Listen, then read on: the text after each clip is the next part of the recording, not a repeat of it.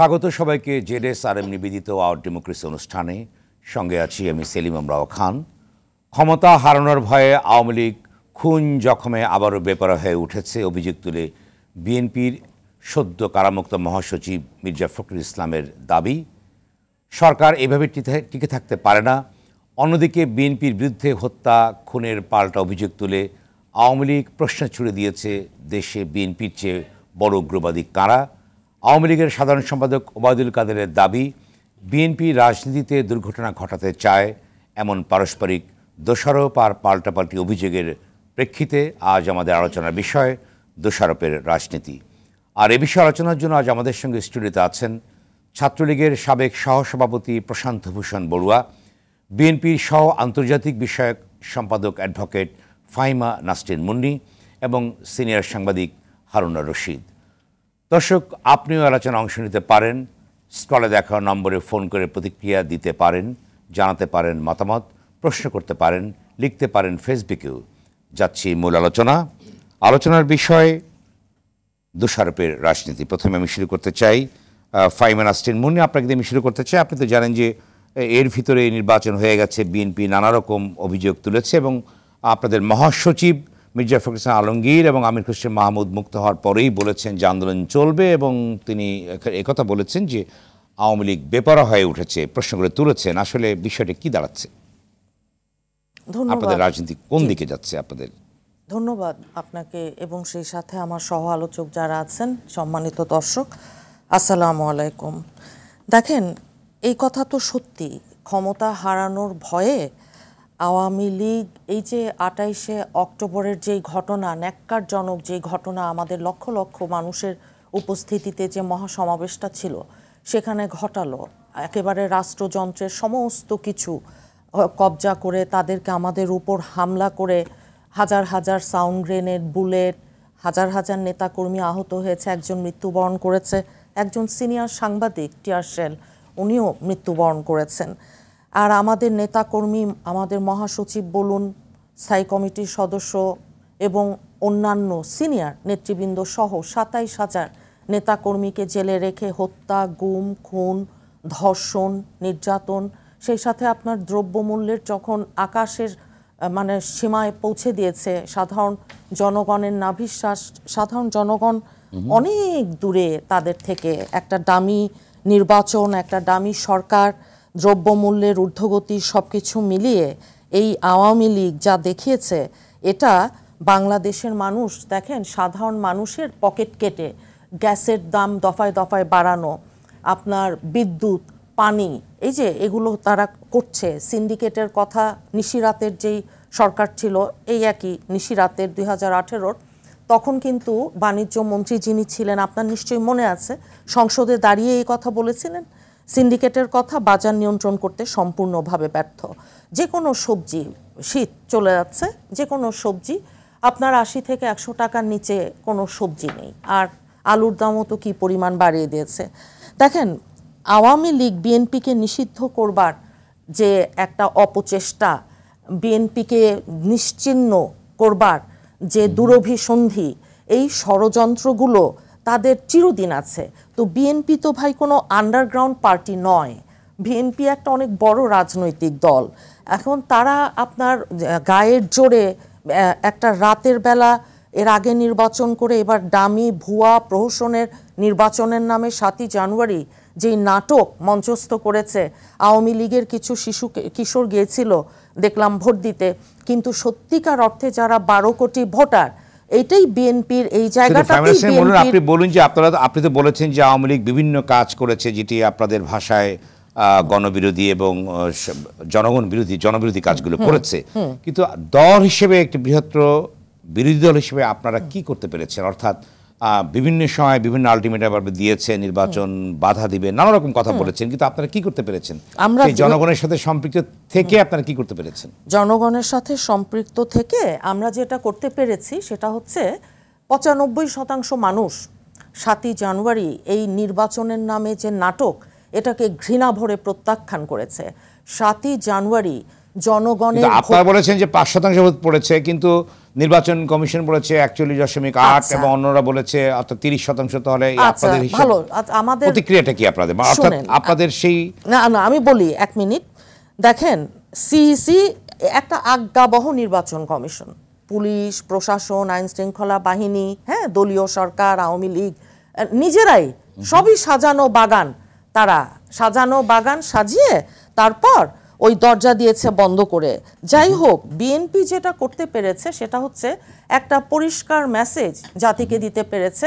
বাংলাদেশের মানুষ গণতন্ত্রের জন্য যে লড়াই, যেই সংগ্রাম, স্বাধীনতার এত বছর পর মুক্তিযুদ্ধের যেই চেতনা ছিল, ভোটের অধিকার বলুন, নির্বাচন বলুন, গণতন্ত্র বলুন, গণতান্ত্রিক এই আন্দোলনে বাংলাদেশের মানুষের সামনে আর কোনো অপশন নেই। না আমি শেষ প্রশ্ন আপনাকে করতে চাই আমি বলছি আপনাকে। না আমি জানি আওয়ামী লীগ সম্পর্কে নানা রকম সমালোচনা আপনারা করবেন কিন্তু না, না, আমি আপনাদের আমার যে আন্দোলন সংগ্রাম না না আমি বলুন। পারছি না, আমি আসলে দিতে পারছি। আবার আসব আপনার কাছে আপনারা যে আন্দোলন সংগ্রামের কথা বিভিন্ন সময় বলে আসছেন কিন্তু আপনাদেরই জোটভুক্ত আমি কিন্তু আপনি ওনাকে কতগুলো প্রশ্ন করেন, আপনি কিন্তু জোটভুক্ত যে যেটা রাষ্ট্র সংস্কার হাসনাত কাইম বলেছে যে এই মুহূর্তে আন্দোলন করার কোনো সুযোগ নেই সার্বিক পরিস্থিতি বিশ্লেষণ না করে আন্দোলনের পৃষ্ঠে উল্টানো যাবে না। এটা বলেছে হাসনাত কাইম যেটি রাষ্ট্র সংস্কার আন্দোলন যারা আপনাদের সঙ্গে আছে। অন্যদিকে হ্যাঁ। সাইফুল হক বলেছেন যে গত তেরো জানুয়ারি একটা মিটিং হয়েছে আপনাদের সঙ্গে বলেছেন সংগঠনের শক্তি না করলে আন্দোলন সফল হবে না। তাহলে আচ্ছা আপনাদের শুনেন। কি করবেন? শুনেন আমরা যেটা করার এক দফা এক দাবি এই ডামি সরকার অবৈধ সরকার জনগণের ভোটার ভোটবিহীন সরকার ম্যান্ডেটবিহীন সরকার তাদের পতন এটা বাংলাদেশের কথা হচ্ছে। লড়াইটা হচ্ছে আপনার সত্যের সাথে মিথ্যার গণতন্ত্রকে জিততে হবে এখানে। অসত্যের বাহিনী তো বিশাল বড় হাতি ঘোড়া বাঘ ভাল্লুক সবই আছে। কিন্তু তাতে কোনো লাভ হবে না। দিনের শেষে হাতি ঘোড়া বাঘ ভাল্লুক সব মুখ থুবড়ে পড়বে বাংলাদেশের মানুষ জয়ী হবে। ধন্যবাদ। এটাই গণতন্ত্রের নিয়ম। যদিও এখন একটা ফ্যাসিস্ট একদলীয় কর্তৃত্ববাদী একটা রেজিম। তারপরও বাংলাদেশের মানুষ জয়ী হবে। হবে ধন্যবাদ। ব্যারিস্টার প্রশান্ত ভূষণ বড়ুয়া। আপনি বলুন যে যে প্রসঙ্গ উত্থাপন করা হয়েছে যে অর্থাৎ ওবায়দুল কাদের বলেছেন যে বিএনপি বেপরোয়া গাড়ি চালকের মতো তারা নির্বাচনকে সামনে রেখে বিএনপি অনেক বেপরোয়া কাজ হ্যাঁ। করেছে। অন্যদিকে বিএনপির পক্ষ থেকে বলা হয়েছে সাতাশ হাজার পাঁচশো ছাব্বিশ জনের বেশি নেতাকর্মী গ্রেপ্তার করা হয়েছে এবং নির্বাচনের পরবর্তী পর্যায়ে, অর্থাৎ তাদের যে নেতা আছে মির্জা ফখরুল আলমগীর এবং আমির খুসরো মাহমুদ এবং এনি, সকলকে পর্যায়ক্রমে মুক্তি দেওয়া হচ্ছে। তাহলে বিষয়টিকে যেটি ফাইনান্সের মল্লিক উত্থাপন করলেন যে এটি একটি নিবর্তনমূলক ব্যবস্থার ভিতর দিয়ে আওয়ামী সরকার যাচ্ছে কোটান করছে এ ব্যাপারে আপনি কি বলবেন? ধন্যবাদ আপনাকে, আমাদের সম্মানিত দর্শক। এবং আমার অত্যন্ত সম্মানিত প্রীতিভাজন দুই সহ আলোচক দেখুন বিএনপি রাজনীতিতে হতাশ না হোক এবং হতাশা তাদের পেয়ে না বসুক কারণ আজকে রাজনীতিতে আওয়ামী লীগ এগিয়ে আছে কালকে বাংলাদেশের রাজনৈতিক আমরা যেটাকে বলি পলিটিক্যাল ল্যান্ডস্কেপে বিএনপি বিএনপি কিংবা অন্য দল এগিয়ে যাবে না বা থাকবে না এটি তো নয়। সুতরাং বিএনপি হতাশ না হয়ে বিএনপিকে আমরা আগেও বলেছি নির্বাচনের আগে এখন গণতন্ত্র মঞ্চের নেতৃবৃন্দ সাইফুল হক সহ ওনারা যেটা বলছেন। এবং এই এনারাই গত বছরের মে মাসে বিবৃতি দিয়ে বলেছিলেন যে বিএনপির ইউ টার্নে ওই যে সাতাশ দফার পরে আমরা হতবম্ব, ক্রুদ্ধ, হতাশ এরকম একটা প্রকাশ্যে বিবৃতি দিয়েছিলেন। তো বিএনপি যেহেতু তার মিত্রদেরকেও বিশ্বাসভাজন নিজেকে করতে পারেনি মিত্রদের জন্য তো এই কারণে বিএনপির রাজনীতিতে ওনাদের মহাসচিব বের হয়ে একটি চমৎকার কথা বলেছেন। আমি ওনাকে ধন্যবাদ জানাই। উনি বলেছেন যে আমার দায়িত্ব হবে রাজনীতি আন্দোলনের গতি ফিরিয়ে আনা। এবং হি সেট ইট। না গতি বলেছে একেবারে। আমি শুভ হুবহু শব্দটি বলছি। আন্দোলনের জ্যোতি গতি মতি এগুলো ছিল না ওনাদের। সেই ক্ষেত্রে সেই ক্ষেত্রে উনি সঠিক বলেছেন ধন্যবাদ দিচ্ছি। আমি যখন বিএনপিকে ধন্যবাদ দিচ্ছি তখন তো নিশ্চয়ই আর উনি আপত্তি করবেন না। আমি বিএনপিকে ধন্যবাদ দিচ্ছি। নিশ্চয়ই উনি আপত্তি করবেন না। মহাসচিবকে দিচ্ছি। কারণ উনি সঠিকভাবেই চিহ্নিত করতে পেরেছেন দীর্ঘদিনের পোড় খাওয়া রাজনীতিবিদ মানুষ যে বিএনপির আন্দোলনের গতি বলতে কিচ্ছু ছিল না অ্যান্ড দ্যাট ওয়াজ লস্ট মানুষ ছিল। আই ডু এগ্রি আপনি যদি বলেন হ্যাঁ বিএনপির বড় সমাবেশ হয়েছে পলিটিক্যালি বলেছি এই যে যে যে কারাবন্দি করা হলো এবং পরবর্তী পর্যায়ে যে পর্যায়ক্রমে তাদের ছেড়ে দেওয়া হচ্ছে এবং যেটা ফাইন্যান্সিয়াল মূল্য বললেন যে একটি নিবর্তনমূলক ব্যবস্থার ভিতর দিয়ে নির্বাচন সম্পন্ন করেছে। এই প্রসঙ্গে কি বলবেন যে সাতাশ হাজার নেতাকর্মী তারা গ্রেপ্তারকৃত এবং প্রথম সারির সকল নেতাই কিন্তু কারাবন্দী ছিল। সেক্ষেত্রে আপনারা নির্বাচন করে নিয়ে গেছে, অনেকে বলবার চেষ্টা করেছেন এবং এই নির্বাচন নিয়ে কিন্তু প্রশ্ন তোলা হয়েছে। যুক্তরাষ্ট্র থেকে শুরু করে বিভিন্ন পশ্চিমী দেশগুলো কিন্তু নির্বাচনের স্বচ্ছতা নিয়ে অর্থাৎ ভোটার টার্ন আউট সব কিছু নিয়ে কিন্তু প্রশ্ন তুলেছেন। সেই ক্ষেত্রে আপনারা আলতাফ হোসেন চৌধুরীর কথা মনে আছে? স্বরাষ্ট্রমন্ত্রী ছিলেন, এখনও বিএনপির ভাইস চেয়ারম্যান। সেই বিখ্যাত যে আল্লাহর মাল আল্লাহ নিয়ে গেছে আমি কী করব? টাইপের এগুলো বলছিলেন। সত্তর হাজার নারী, পুরুষ ধর্ষণ খুনের আসামিকে ছেড়ে দিয়েছিলেন এবং গর্ব করে উনি এটা বলেছিলেন। এবং তার মধ্যে দুই এক থেকে ছয়ের এই সময়কার আপনার সেই নারকীয় হত্যাযজ্ঞ এগুলোও ছিল। তুলে ফেলেছে, মামলাগুলো হয়নি, বিচার হয়নি। আজকে লক্ষ্য করে দেখবেন, আওয়ামী লীগ আমলে আওয়ামী লীগের সার্ভিং এমপি শুধু নন, ইঞ্জিনিয়ার খন্দকার ইঞ্জিনিয়ার খন্দকার নন, মোশাররফ সাহেব গণপূর্তমন্ত্রী থাকা অবস্থাতেই চট্টগ্রামের আদালতে গিয়ে দুই এক মাস পর পর ওনার বিরুদ্ধে মামলায় হাজিরা দিতেন ওই টার্মে। এবং এমপিরা জেলে ছিলেন, জেলে আছেন। আমি যেটি আপনাকে যেটি বলছি যে বিএনপি কেন এই হতাশার থেকে মিথ্যাচার করছে, কারণ হচ্ছে আঠাশে অক্টোবরের পরে বিএনপির নেতৃবৃন্দের যে কমান্ড রেসপন্সিবিলিটি সেটির কারণেই তাদেরকে গ্রেপ্তার করা হয়েছিল। এবং জামিনের তিনটি শর্ত থাকে। উনি আইনজীবী, উনি বলবেন এটি আপনি জামিনের অপব্যবহার করবেন না। যেই ঘটনায় গ্রেপ্তার হয়েছেন, এটার পুনরাবৃত্তি করবেন না এবং সাক্ষীদের ভয়ভীতি দিয়ে বিচারকে প্রভাবিত করবেন না। এটাও মোটা দাগে এই তিনটা। তো বিএনপির যারা ভিতরে ছিলেন, তারা কোনোদিনও এটি বলবার সুযোগ পাননি যে আমাদের জামিন দিলে আমরা এই কাজ আর করব না। আমাদের কমান্ড রেসপন্সিবিলিটি দিয়ে মানুষকে আমরা ইনফ্লুয়েন্স করব না। কারণ জনাব ব্রিসবি দুই দুটো স্টেটমেন্ট দিয়েছিলেন।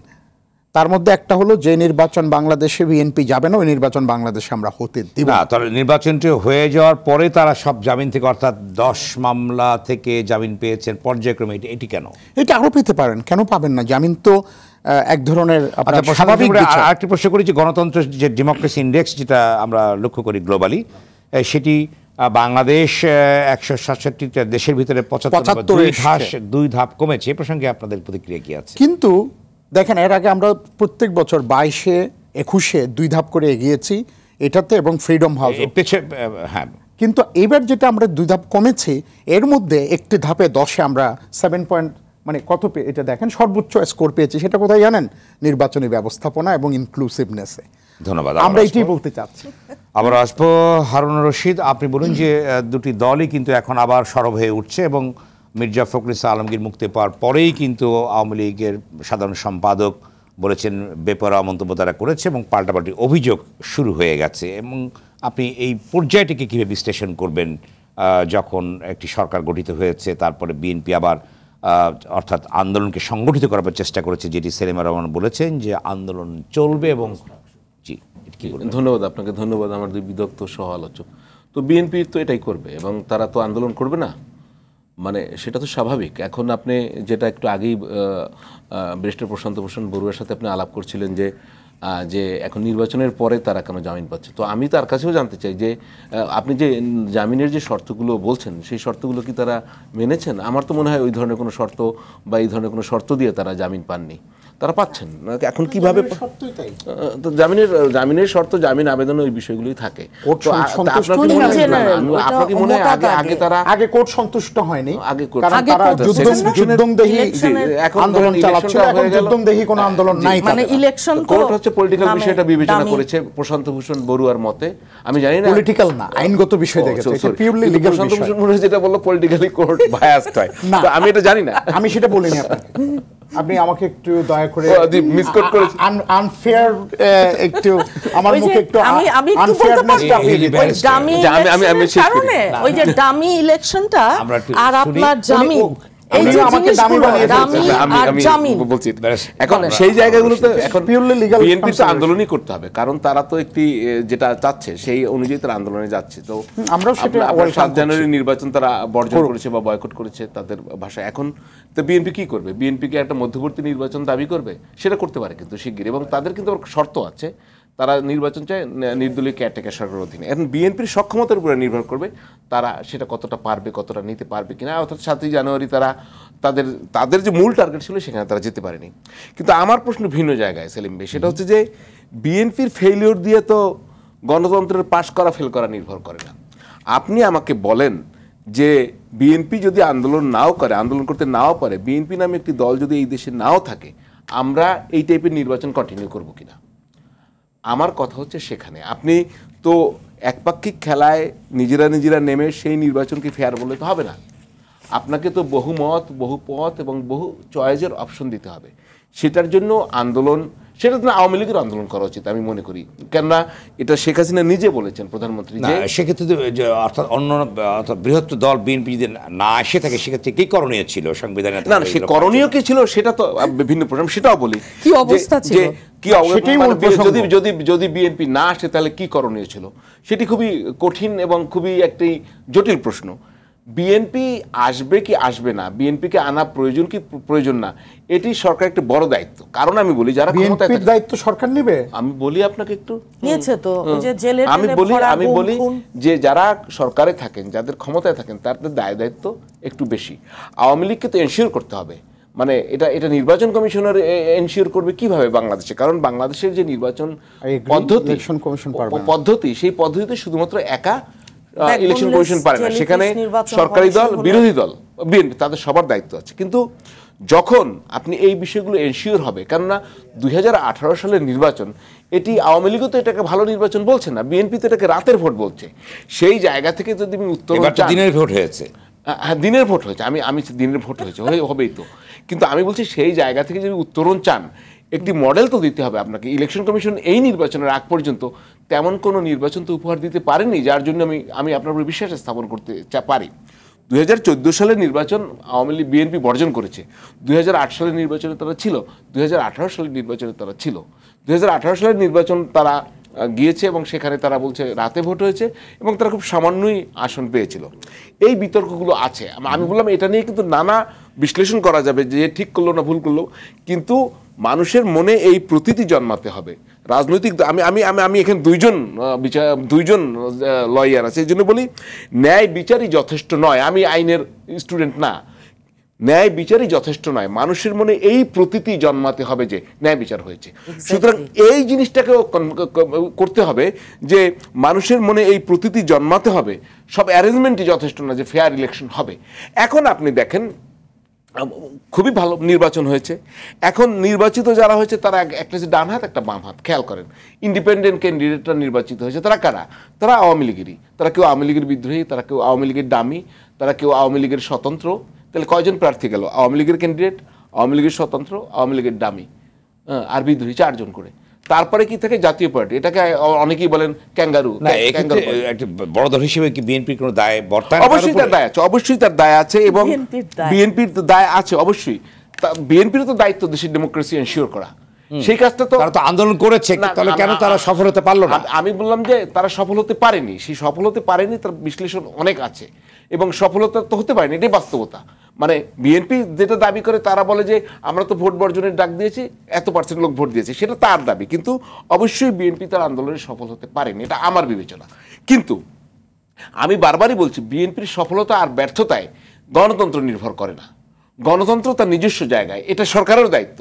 আপনি আপনি অবশ্যই এনশিওর করবেন ডেমোক্রেসিক প্রসেসকে এনশিওর করতে হবে। এখন যে পার্লামেন্ট হলো, আমি আপনাকে বলি, সেখানে এই সরকারকে অনেকেই বলেন যে, এই সরকারের চ্যালেঞ্জ হচ্ছে দ্রব্যমূল্য। নেভার আমি এটা কখনই মনে করি এই সরকারের সবচেয়ে বড় চ্যালেঞ্জ হচ্ছে এই পার্লামেন্টে বিরোধী দল নাই।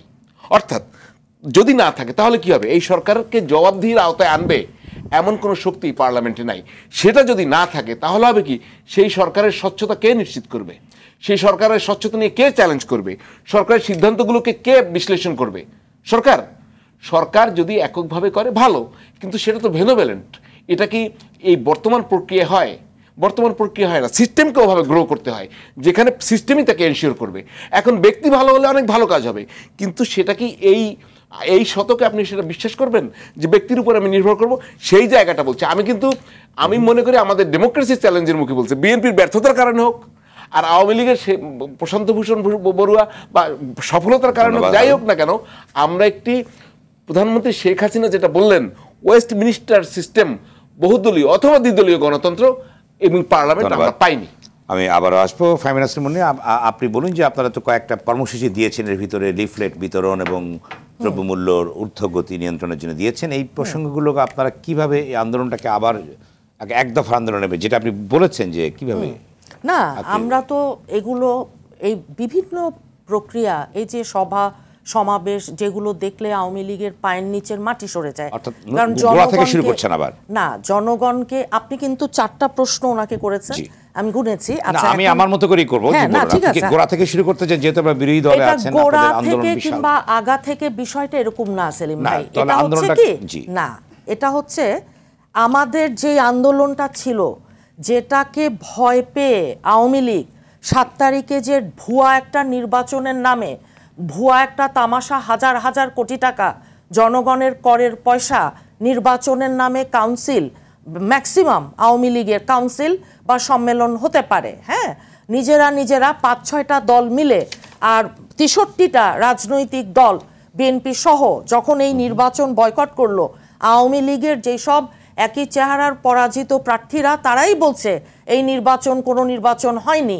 যারা আপনার তাদের সাথে ছিল ইনু সাহেব কিংবা অন্যান্য যাদের এবার হারিয়ে দিয়েছে তারাই বলছে যে এই নির্বাচনে প্রশাসন কীভাবে কাজ করেছে কি করেছে দেখেন মূল কথাটা আপনার কাছে এখানে আমি আসব একটি বিরতির পর আপনাকে আব- আব- আব- আবার আমি ফিরে আসব দর্শক। সব নিবেদিত আওয়ার ডেমোক্রেসি অনুষ্ঠান নিচ্ছে ছোট্ট বিরতির সঙ্গেই থাকুন।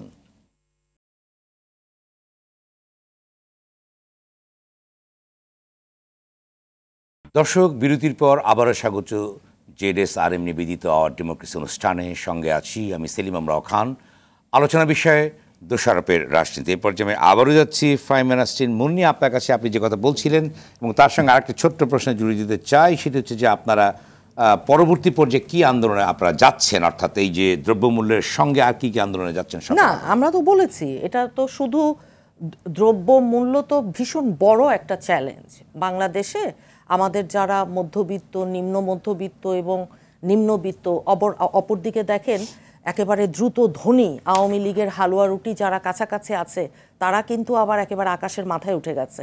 কারণ দুর্নীতি এমনভাবে সয়লাভ হয়ে গেছে, সারা বাংলাদেশের আর্থিক খাতগুলো বলুন, ব্যাংক বলুন, বাংলাদেশ ব্যাংক থেকে যখন আটশো দশ কোটি টাকা পাচার হলো, ওগুলার তদন্ত তদন্ত ওগুলো হয় না। দেখেন, বিএনপিকে ছাড়া এই যে এত বড় একটা দলকে বাদে তেষট্টিটা রাজনৈতিক দল হ্যাঁ তাদেরকে বাদে, এ, পূর্ব নির্ধারিত একটা ফলাফল, নির্বাচনের নামে যে তামাশাটা সাত তারিখে আওয়ামী লীগ করল জাতির সাথে, এখানে বাংলাদেশের সিংহভাগ মানুষ যারা আছে, তাদের আপনার পঁচানব্বই ভাগ মানুষের কোনো রকম প্রত্যাশা পূরণের কোনো সুযোগ এই ডামি যেই সংসদটা সাজিয়েছে হ্যাঁ এখানে বাংলাদেশের মানুষের নেই। এখানে ওই ছোট ছোট শিশু ভোটার কিংবা ওই নাবালক ওই ছোট ছোট কিশোর তাদেরকে আওয়ামী লীগের লোকজন এনে ভোট টোট দিয়েছে। আন্তর্জাতিক মিডিয়ায় খবর হয়েছে ওয়ান ওমেন শো হ্যাঁ এই সাউথ ইস্ট এশিয়া বাংলাদেশের এই নির্বাচনকে নিয়ে। আর পাশাপাশি আপনি দেখেন যে আপনি জানেন যে জেলখানা জেলটা কি? Jail jail. এই যে আমাদের সাতাইশ হাজার নেতাকর্মী বলুন পঞ্চাশ লক্ষ নেতাকর্মী আমাদের মামলা সাতশোর ওপরে গুম।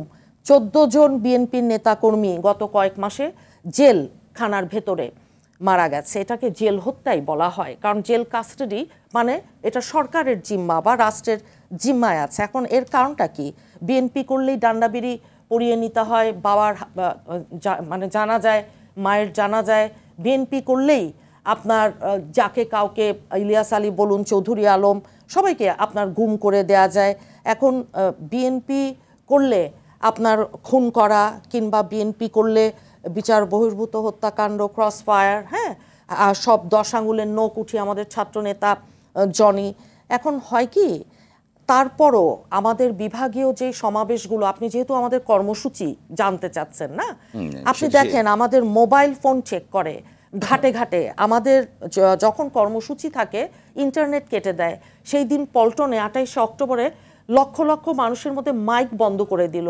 মানে ট্রেন বন্ধ করে দিবে, বাস, গাড়ি, ট্রাক, যতভাবে। আর আওয়ামী লীগের সমাবেশে চিত্রটা ঠিক উল্টো। এখন এত কিছু করেও আসলে লাভ হয় না। কারণ কি?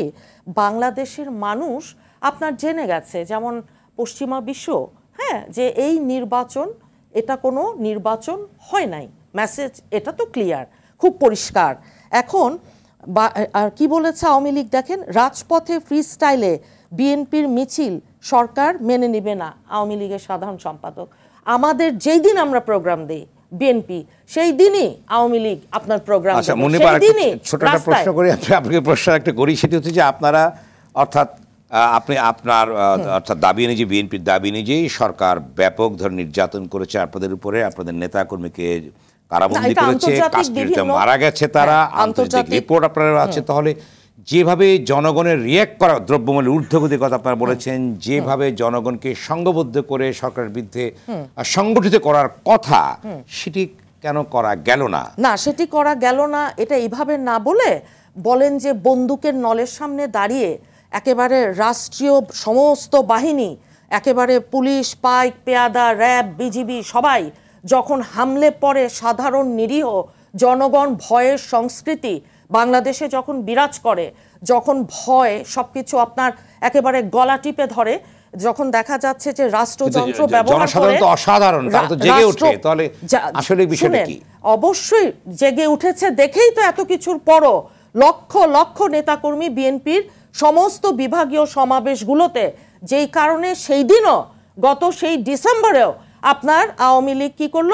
আমাদের পল্টন অফিস হামলা। যে আমাদের পল্টনের সামনে ওই যে জনসমুদ্র যেন না হয় তারপরে কি আমাদের আরেক জায়গায় নিয়ে গেল গোলাপবাগ কি অসুবিধা হলো? ওখানেও তো আমাদের লক্ষ লক্ষ মানুষই হলো। তো আওয়ামী লীগ দেখেন আমরা টাকা পয়সা দিতে পারি না। ওই যে আমাদের সমর্থক যারা আসেন আমরা বিরিয়ানির প্যাকেট দিতে পারি না। আমরা চেয়ার ছুড়াছুড়ি করে মারামারিও করি না। হ্যাঁ কিন্তু সাধারণ জনগণ আসে বলেই তো লক্ষ লক্ষ মানুষের আপনারা যেটা দেখেন। আওয়ামী লীগের এক মিনিট আওয়ামী লীগের দেখেন আপনি বলছেন অনেক কথাই রাস্তায় নামা। এরশাদ সাহেবের যখন পতন হয়েছিল তার কতদিন আগে আসলে এক্স্যাক্টলি এরশাদ সাহেব জানতেন এখন স্বৈরাচার কে? বড় স্বৈরাচার? আওয়ামী লীগ না এরশাদ? ওইটা অন্য আর একটা প্রসঙ্গ। কিন্তু দশ দিন বা দশ ঘণ্টা একদিন বা এক ঘণ্টা রাজনীতির জন্য কিন্তু অনেকটা সময় আচ্ছা আর ছোট্ট একটা প্রশ্ন হ্যাঁ, শেষ করছি সেটা হচ্ছে আপনারা বলেন যে অন্য অন্য দল আপনাদের শরিক দলগুলোতে তারা আন্দোলনকে নিয়ে তারা মূল্যায়ন করছে আত্মসমালোচনা করছে আপনাদের ভিতরে কি এমন মূল্যায়ন আছে যে কেন সফল হলো না আপনারা না সফল হলো না আমরা এটা বলি না এটাকে আমরা বলছি যে কোনো অসহযোগ আন্দোলন দিয়েছিলেন। যে কোনো আচ্ছা ঠিক আছে যে কোনো সংগঠনের সেলফ ইভ্যালুয়েশন বলে একটা রিট্রিট সেলফ ইভ্যালুয়েশন যেটাকে বলে এটা বিএনপি বিশ্বাস করে এবং বিএনপির সাথে করেছেন আপনারা? করছেন? অবশ্যই আমরা। এটা আমাদের মহাসচিব এতদিন ভেতরে ছিলেন। আমাদের মহাসচিব সহ আমাদের স্থায়ী কমিটির এই যে আমাদের দেশনেত্রী সহ আটকে রাখল আওয়ামী লীগ যদি রাজনীতির র করত বিরাজনীতিকরণ না করে বা রাজনৈতিক প্রতিহিংসা আপনার রাজনীতি কি করতে দেয় তারা? তারা তো আপনার ভয়েই তারা শেষ। যে না না বিএনপি এই রাজপথ দখল করল।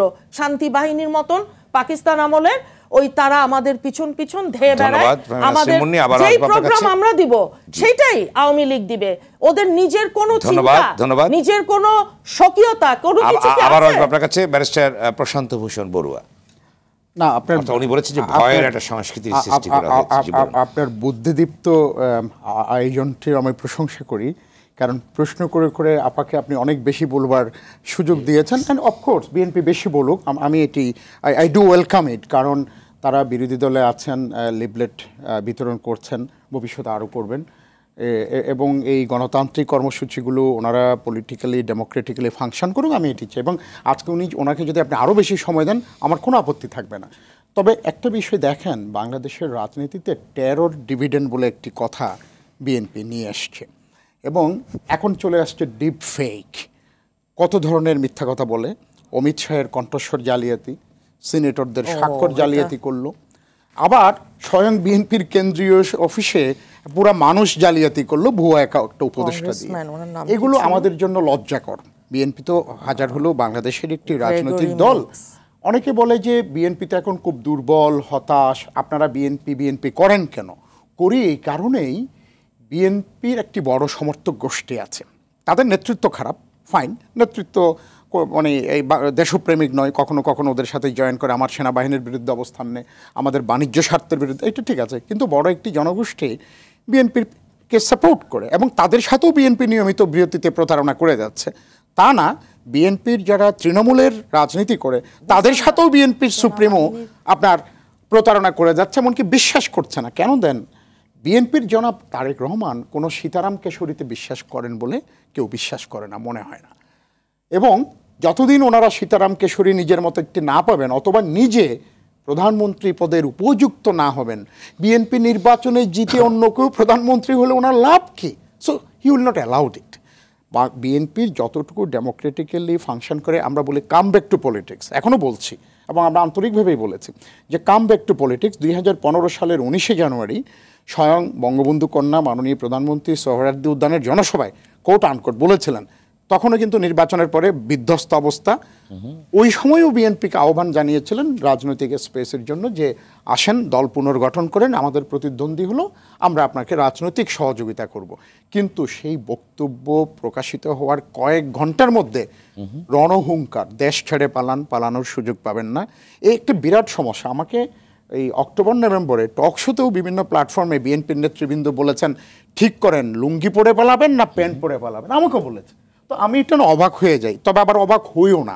বিএনপির রাজনীতির যে প্যাথোলজিক্যাল আপনার জন্মগ্রহণ, বঙ্গভবন থেকে টাকা চুরি করে, দল তৈরি করে কর্নেল মুস্তাফিজ যে সাক্ষ্য দিয়েছেন, তারপরে না, ওনারা এরশাদ বিরোধী আন্দোলনে কিছুটা সেমি ডেমোক্রেটিক হয়েছে বলে অনেকে দাবি করেন। কিন্তু দুই থেকে ছয়ে যে খুন জখম দুর্নীতি সন্ত্রাস একেবারে আনপ্যারালাল একেবারে ইন্ডাস্ট্রিয়াল স্কেলে গণহত্যা করল একুশে আগস্টে এরপর বিএনপি কেন আর কেউ বিশ্বাস করে না আমার ধারণা শেষ করতে হবে। আজকে বিএনপি যে টেরর ডিভিডেন্টটা এনেছে সেটির জন্য সম্পূর্ণভাবে তারা দায়ী।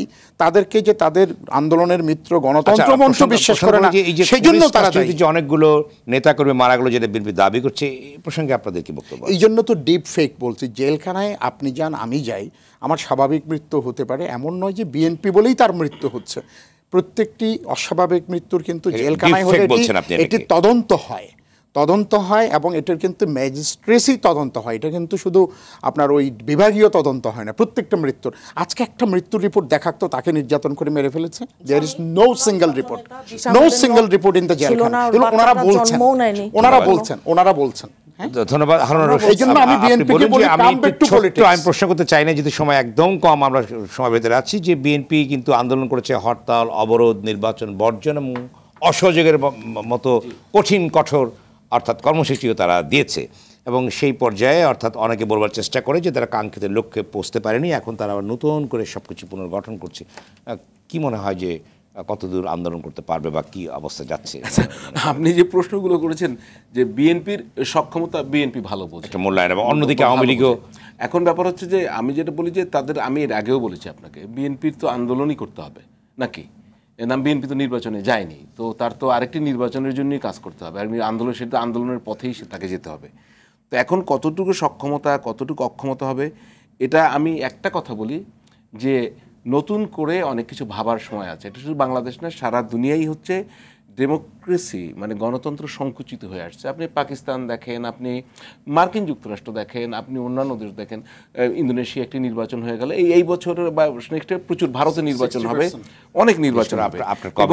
বিশ্বব্যাপী গণতন্ত্রের একটি সংকোচন আমরা লক্ষ্য করছি এবং এক ধরনের কর্তৃত্ববাদী সরকারের উত্থান বিভিন্ন জায়গায় খেয়াল করেছে। সুতরাং বিশ্ব রাজনৈতিক পরিস্থিতি প্রেক্ষাপট চেঞ্জ হচ্ছে। সুতরাং বাংলাদেশ তার বাইরে থাকবে না। সুতরাং বিএনপিকে নিজেদের পুনর্মাল মূল্যায়ন করতে হবে। তাদের কি ভুল বা তাদের কি অক্ষমতার কোন জায়গা ছিল সেগুলো এবং বিশ্ব রাজনীতি বিবেচনা করে বাংলাদেশকে তার বাইরে না নিয়ে চিন্তা করতে হবে। এবং যে কোনো রাজনৈতিক দলই তো কখনো কখনো সফল হয়। তো বিএনপি সফলতার জন্য চেষ্টা করতে হবে। চেষ্টা তো করতেই হবে। এছাড়া আর কি করার আছে? আমি কি বলতে পারি? ধন্যবাদ। কংগ্রেসম্যান গ্রেগরি মিক্স আমেরিকার ওনাকে নিয়ে আওয়ামী লীগের বাংলাদেশ হাই কমিশন ওয়াশিংটনের ওই যে ওয়েবসাইটে যেই চিঠি পরবর্তীতে দেখা গেছে যে সেটার যে বক্তব্য সেখানে অমিল। দেশপ্রেমিক বিএনপি অবশ্যই, কারণ বিএনপি কখনো এই ধরনের কোনো কথা বলে না যে তলে তলে দিল্লি আছে, আমরা আছি আমরা আছি, দিল্লি আছে। না, এ ধরনের কথা বলে না যে আমি ভারতে গিয়ে বলে এসেছি যে শেখ হাসিনা সরকারকে আবার ক্ষমতায় রাখতে। আর তাছাড়া দুই হাজার তো পাশের দেশের পররাষ্ট্র সচিব চলেই এসছিলেন। আওয়ামী লীগ সেটার বেনিফিশিয়ারি দুই হাজার আটে প্রণব মুখার্জি বাবুর বইয়ে লেখা আছে আওয়ামী লীগ কীভাবে কী করেছে কীভাবে এসেছে। দেখেন সেনাবাহিনীর বিরুদ্ধে বিএনপি কী জন্য অবস্থান নিবে? শহীদ প্রেসিডেন্ট জিয়া রহমান কে ছিলেন? সেটা তো আমার আওয়ামী লীগের বন্ধু উনি খুব ভালো করেই জানেন। যে শহীদ জিয়া ছিলেন সেনাবাহিনীর আপনার হ্যাঁ বলছি আমি সেনাবাহিনীর একজন অত্যন্ত গর্বিত সদস্য বীর মুক্তিযোদ্ধা সেক্টর কমান্ডার। আর এখন দেখেন তারেক রহমান সাহেবকে নিয়ে আওয়ামী লীগ সবসময় নানান রকম প্রোপাগান্ডা নানান রকম কথাবার্তা আমাদের শহীদ জিয়া দেশনেত্রীকে নিয়ে এগুলো আওয়ামী লীগ বলে। কেন? কারণ জনপ্রিয়তাকে রাজনীতি দিয়ে মোকাবেলা করতে না পেরে এই যে দমন পীড়ন আপনার চক্রান্ত ষড়যন্ত্র এগুলো তাদের মজ্জাগত। এখন আওয়ামী লীগের মিথ্যা প্রোপাগান্ডার জন্য বেতন দিয়ে লোক রাখতে হয় বিএনপি সেটা লাগে না। এখন বাংলাদেশের মানুষে বিএনপির বিশ্বাস। দুই হাজার এক থেকে ছয় না এমন কোনো ঘটনা একুশে আগস্টের যেটা সেটা আওয়ামী লীগের সাইদ খোকনের বক্তব্য আছে সব মিডিয়াতে যে আমি একদিন আগেই জানিয়েছিলাম নেত্রীকে ভেনু চেঞ্জ হয়েছিল। আর দেখেন পিলখানা হত্যার মতন।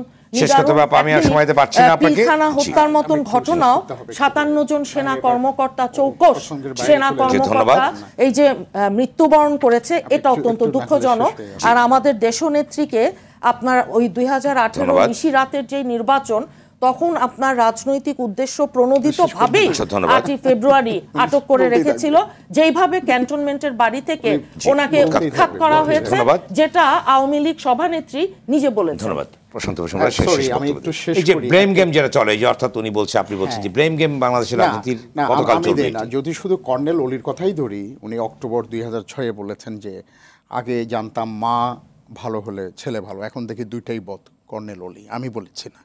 বি না, চৌধুরী এই বলেছেন। ধরনের কথা- বি চৌধুরী না, বলেছেন এই ধরনের দুই দুইজন মার্কিন রাষ্ট্রদূত উইকিলিক্সের তার বার্তায় উল্লেখ করেছেন। আমি তাদের কথা বলছি না। তবে একটা জিনিস দেখেন এই কারণে আমরা বলছি বাংলাদেশের গণতান্ত্রিক রাজনীতির জমিনে বরাবরই বিএনপির দলিল জাল দাখিলা ভুয়া দখল। অবৈধ। ধন্যবাদ। আপনি হয় যে আমরা তো অনেক কথা বলি সেটা হচ্ছে সবারই এখানে দায় আছে। আপনার বৃষ্টির মৌদুদ আহমেদ কে এম হাসান সম্পর্কে তাকে যখন আপনার নির্বাচন কর্মী, সরি কেয়ারটেকারের কথা কি বলেছেন ব্যারিস্টার মৌদুদ এবং সেই প্রক্রিয়াটা বলেছেন যে, তখন হচ্ছে যে একটা প্রক্রিয়া ছিল এবং এই কে এম হাসানকে সর্বশেষ অবসরপ্রাপ্ত প্রধান বিচারপতি রাখার জন্য বিচারপতিদের বয়স বাড়ানো হয়েছিল। এবং আমি একটু শেষ করি আপা আচ্ছা, আপনার সময় কথা বলি। একই সঙ্গে আপনার এই যে ইয়াদুদ্দিন সাহেবের কেয়ারটেকার প্রধান হওয়া আমি বলছি বাংলাদেশে এই যে পরিস্থিতি সৃষ্টি হয়েছে এতে কেউ দায় আড়াতে পারে না। সবাই হঠাৎ করে গণতন্ত্রের মানুষপুত্র হয়ে যায় নাই। গণতন্ত্র কে কীভাবে? আর একটা কথা বলি যে একুশে আগস্টের ঘটনা এটা নিয়ে পলিটিক্যাল কথা বলা যায় বহুত কিন্তু এটি হচ্ছে একটি একটি রাষ্ট্রীয় পর্যায় থেকে একটি সন্ত্রাসী তৎপরতা এবং এই জায়গায় শেখ হাসিনাকে হত্যার চেষ্টা করা হয়েছিল। কারা করেছে এটা খুব স্পষ্ট। এটা নিয়ে পলিটিক্স করা এই যে ব্রেম ব্রেম বাংলাদেশের পলিটিক্সে আমি বলি কিছু মাইল ফলক আছে। এই যে এগুলার- এগুলার যখন যতদিন পর্যন্ত শেষ না হবে শেষ করি। আমি বলি। একাত্তর পঁচাত্তর একুশে আগস্ট। একাত্তর পঁচাত্তর একুশে আগস্ট। আমি একটু বলি মানে এটা হচ্ছে যে একাত্তর পঁচাত্তর একুশে আগস্ট। এই তিনটা ঘটনাটা যদি আপনি দেখেন বাংলাদেশের রাজনীতিতে একটা শার্প ডিভিশন এবং এখানে বাংলাদেশের মানুষ মানুষও দ্বিধা বিভক্ত। এই বিভক্তির বীজ যতদিন না যাবে এই ঘটনাগুলো নিয়ে যখন সকল বিতর্ক করা না হবে তখন দেখবেন এই পরিস্থিতির উন্নয়ন ঘটবে। অর্থাৎ আপনি যদি চান আপনি যদি মনে করেন আমাকে রাজনীতি থেকে আমাকে সপরিবারে হত্যা করবেন তাহলে ধন্যবাদ। আমি কখনো আপনাকে বিশ্বাস। করব ততদিন নির্বাচন করে কোনো লাভ হবে ধন্যবাদ। আপনাদের আলোচনা অংশ। নেওয়ার জন্য। দর্শক Z S R M our democracy আজ এ পর্যন্তই জানিয়ে রাখছি। আওয়ার ডেমোক্রেসি অনুষ্ঠানটি শুক্র থেকে রবিবার রাত এগারোটা বিশ মিনিটে সরাসরি সম্প্রচার হয় দেখার আমন্ত্রণ রইল। সঙ্গে থাকবার জন্য ধন্যবাদ।